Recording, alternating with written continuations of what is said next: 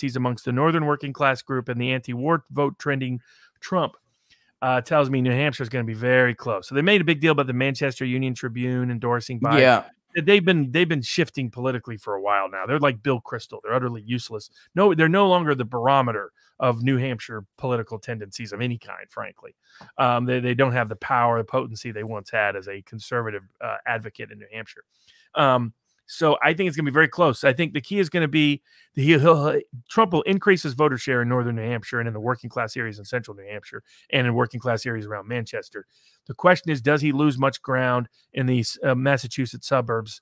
They, they call them the Boston suburbs because a lot of them are Bostonites who moved to southern New Hampshire, Rockingham County, some of those counties. How does he? Eh, he'll, he'll lose Dover and, and Concord. Uh, but like Hanover, he'll lose less because there's there's no Dartmouth is not active. I mean, so a bunch of the university campuses are not active. That we use that that by itself was the 3,000 vote margin in 2016. That's not there now in 2020. Um, right. So that by itself could give Trump the edge as long as he doesn't bleed too much in the suburbs, where it showed in the professional class portions of those areas. Uh, there was a real Democratic excitement on the presidential side. So he might lose enough of the vote there to lose it. But that's why I say it's very close.